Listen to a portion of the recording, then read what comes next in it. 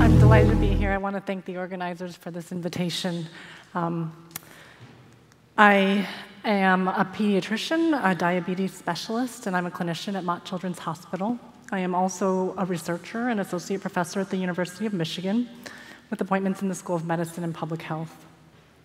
But I actually have an alternative identity online as doctor, as designer, because I'm very passionate about the notion that human centered design can, will, and should transform the healthcare enterprise that we have right now.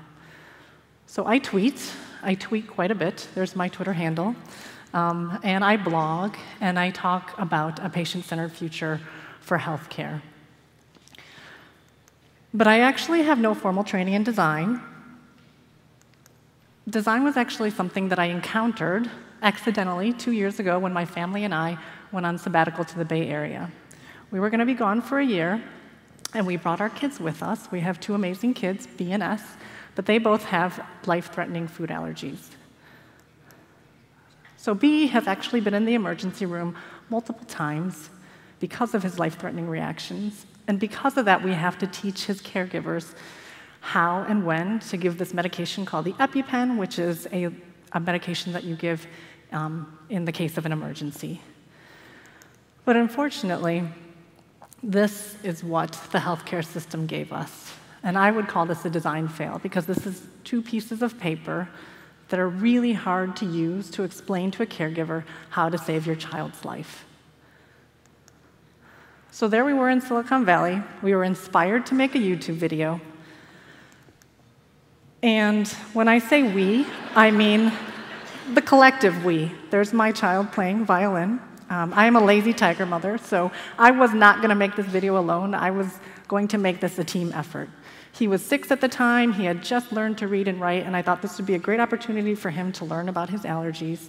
And so we did this video together. I scripted it, but he narrated it and he illustrated it himself. And here's our prototype. I am allergic to dairy and nuts. Bananas.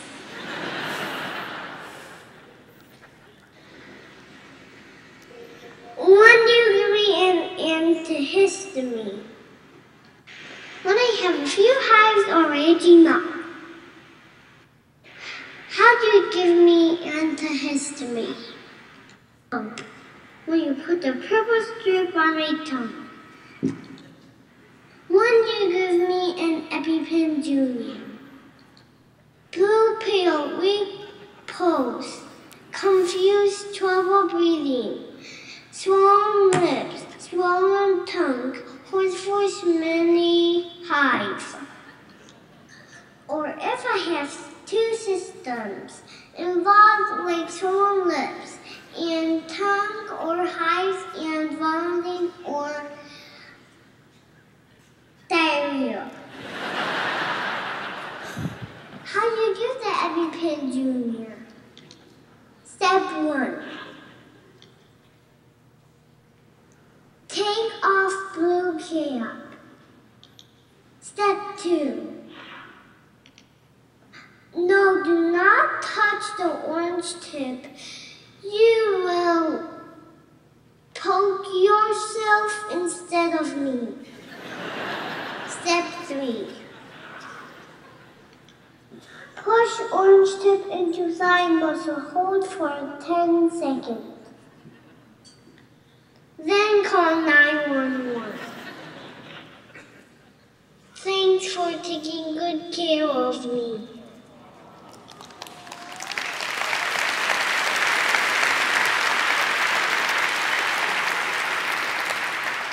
So I posted the video on my blog, shared it with his teacher. The next day, she shared it with the entire school.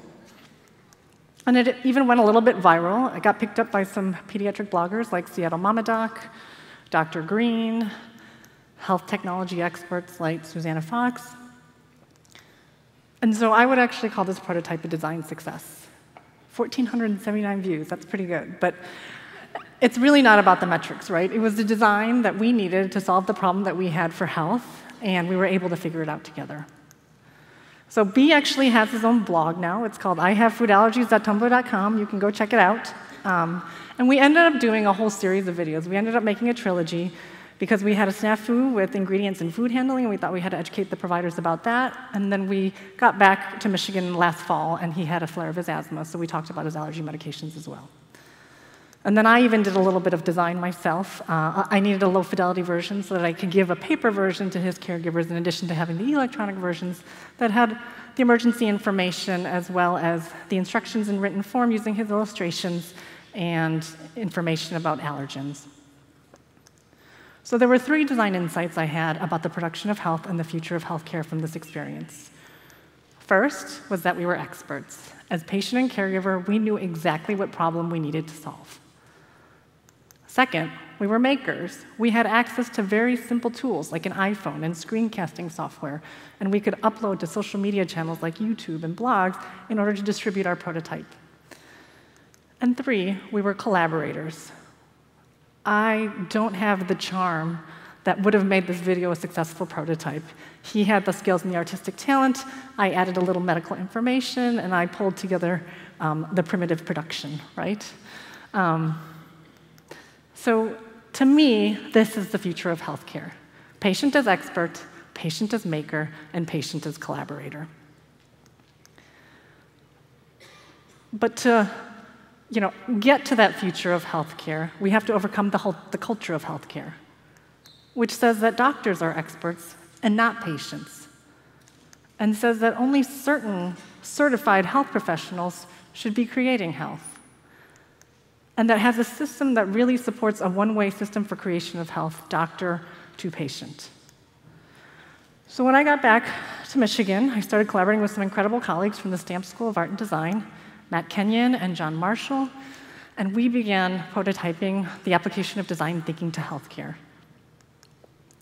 Validating and valuing patients as experts with a lot of wisdom about their own health, including them as, uh, or letting them drive the conversation about what problems need to be identified and prioritized, and involving them as co designers in the creation of health.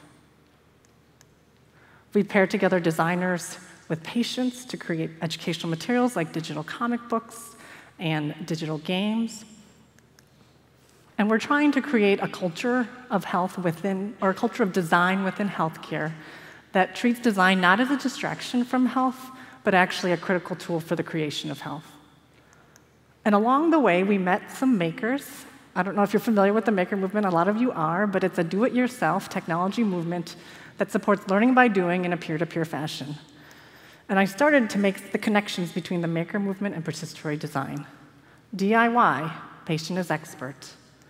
Learning by doing, patient is maker. Peer to peer learning, patient is collaborator. So we held the first Make Health Fest this August at the University of Michigan, where we brought together patients and healthcare providers, designers, tinkers, and makers to explore the incredible opportunities and the incredible creations that might come about by integrating making with health. And we've created a collaborative innovation network, which we call Health Design by Us, which we hope you will all join to help further this and scale this work. So, what I dream of is healthcare that doesn't look like this doctor to patient, passive and solitary, but healthcare that looks like this patient to patient, active, and collaborative. So B is already thinking about the next prototypes that he's going to be building. He actually built a couple of prototypes for the We Make Health Fest, both cardboard and digital. And um, he actually gave the opening remarks as well, and he has some words of wisdom for us that say, you know, it takes teamwork and creativity. It's not just you, it's us. Health designed by us. And I just want to thank my colleagues and collaborators um, from University of Michigan, but across the globe as well, for supporting uh, this endeavor to integrate uh, patient-centered participatory design into our healthcare system. Thank you.